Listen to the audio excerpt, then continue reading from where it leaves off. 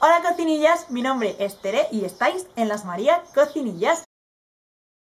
Después de varios días pidiéndomelo a través de nuestro canal de Instagram, he elaborado este vídeo con cuatro recetas con avena. Pero no son cuatro recetas cualquiera, sino cuatro super recetas de desayunos para que tengáis opciones en vuestro día a día fáciles, sencillas, con ingredientes que todos tenéis por casa y encima muy económicas. Espero que os guste y que si queréis que os haga vídeos como estos de recopilatorios de recetas, opciones más diferentes, por favor dejadme en los comentarios qué opciones os gustaría que hicieras. Lo que vosotros queráis, recetas con un ingrediente en especial que os guste. Dejádmelo en los comentarios y os prometo que lo haremos en los siguientes vídeos. Y ahora sí, os dejo con estas cuatro opciones de desayuno. ¡Empezamos!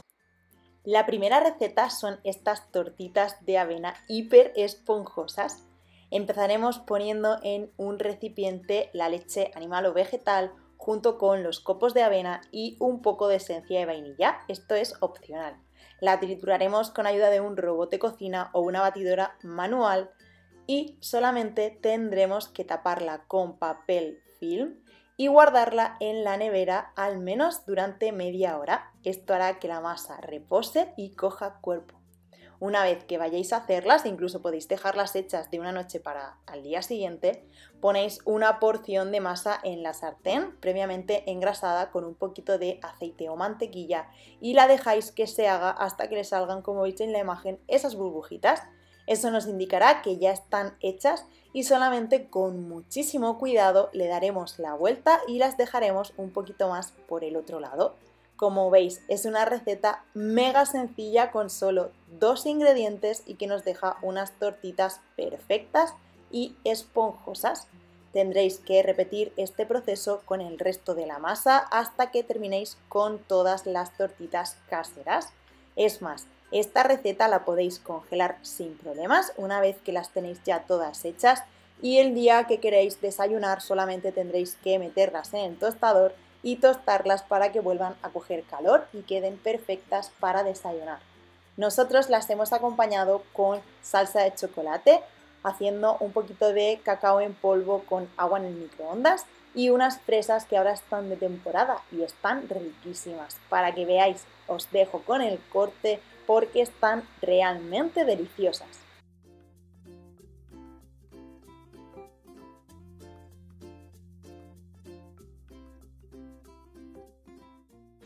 La segunda receta son estas galletas de avena con pistachos, una receta típica chilena por lo que me han dicho y que es muy muy sencilla de hacer. Solo tendréis que poner en un bol dos huevos junto con el azúcar, azúcar integral de caña normal, panela de coco, el que uséis en casa, mezclarlo muy bien con ayuda de unas varillas e integrarle los ingredientes líquidos de la receta, que son el aceite, vegetal o de oliva y la esencia de vainilla. Una vez que está bien integrado todo, le incorporamos nuestros copos de avena y la harina. Yo he usado integral de centeno, pero también podríais usar de espelta.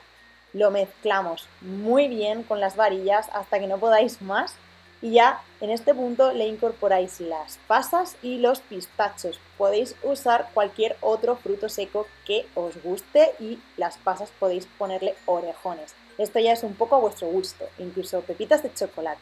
Terminamos la receta de integrarla con ayuda de las manos y como veis tiene que quedar una masa compacta, manejable, pero que se pegue un poquito a los dedos. Por eso nos ponemos agua en las manos y vamos haciendo porciones más o menos iguales de masa y poniéndolas en una bandeja con papel de hornear. Ponemos agua en el fondo de un vaso, en el culo, y chafamos nuestras bolitas para darles la forma final de galleta. También podéis ayudaros con los dedos para dejarlas genial.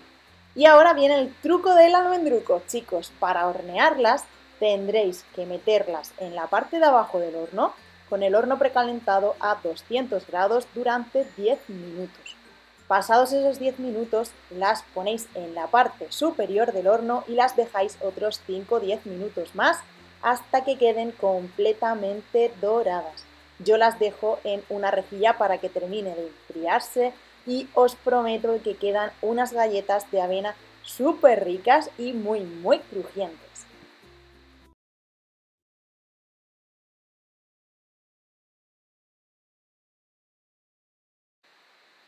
La tercera receta es una avena reposada o un overnight oat.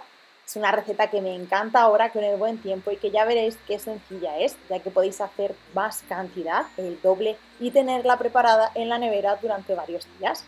Pondremos en un recipiente con tapa los copos de avena y las semillas de chía. Si no queréis o no os gustan, se las podéis quitar.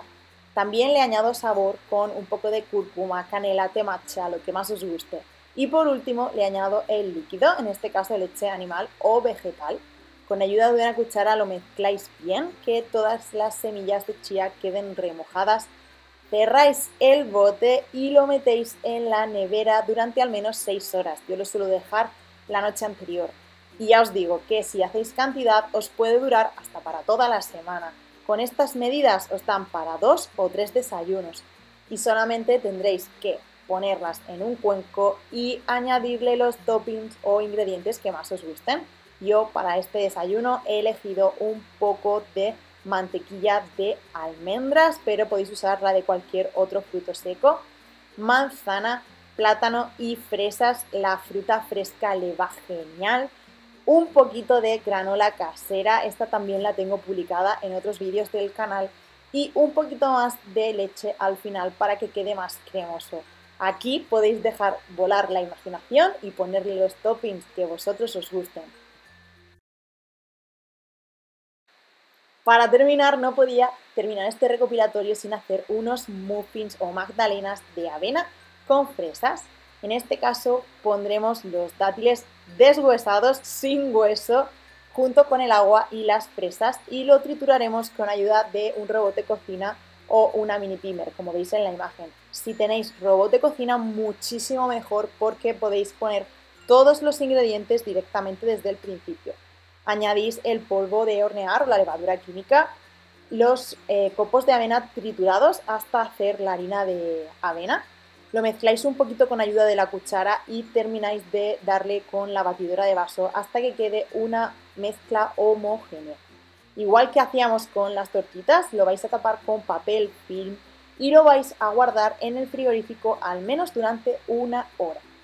Ya solo tendréis que poner la masa en los móviles de las magdalenas que uséis.